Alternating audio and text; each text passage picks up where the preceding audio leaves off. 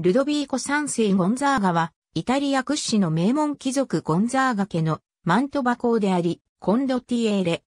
ジャンフランチェスコ一世ゴンザーガとパオラ・マラテスタの子で、1444年に皇位を継いだ。ルドビーコは、最初父と同じく、ビスコンティ家のため戦ったが、ミラノ公国に対抗し、フィレンツェと同盟したベネツィア共和国と戦った。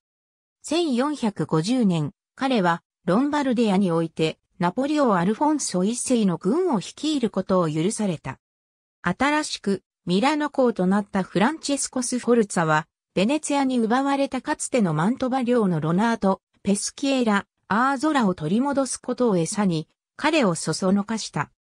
彼はそれを1452年にカスティリオネ・レッレ、スティビエーレの略奪で答え、ルドビーコの弟、カルロを雇い入れたのだった。1453年6月、ルドビーコは合意とでカルロ軍を率いていたが、ニッコロ・ピッチニーの指揮下のベネツィア軍はアーゾラ回復の試みを遮断した。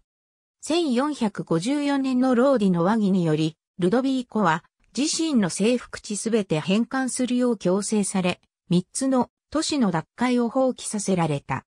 しかし、子供のないカルロが1478年に死ぬと、弟の領土を相続するのは自分だと主張した。1459年から1460年まで、ローマ教皇ピウス2世の召喚により、コンスタンティノープルを占領したオスマン帝国に対する十字軍遠征に加わった。1466年から多かれ少なかれ、スフォルザ家のため定期的に軍務に就いた。1478年、国死病に罹患し、合意とで死去した。